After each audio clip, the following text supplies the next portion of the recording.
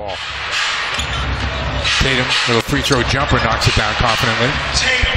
Brad was talking earlier about Jayson Tatum still encouraging him to do the mid-range game, even though he's shooting the ball so well from three. Easy opportunities. Smart. People are falling all over the place here. Tatum from the corner knocks down a three. Tatum Tatum took his sweet time in that corner, let it fly, nothing but the bottom.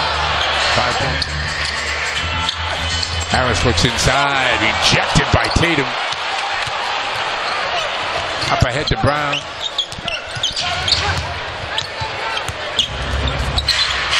Bradley, the Pistons high scorer with a dozen. Tatum for three. Oh, man. right now, that sound is the whole league swallowing, being a little bit worried that Jayson Tatum just shot a three off the pick and roll. Horford, smart.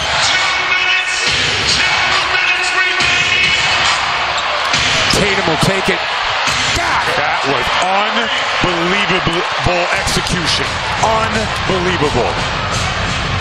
How good is this kid? How good was that play? 11 points in the game now to keep his double figure streak alive.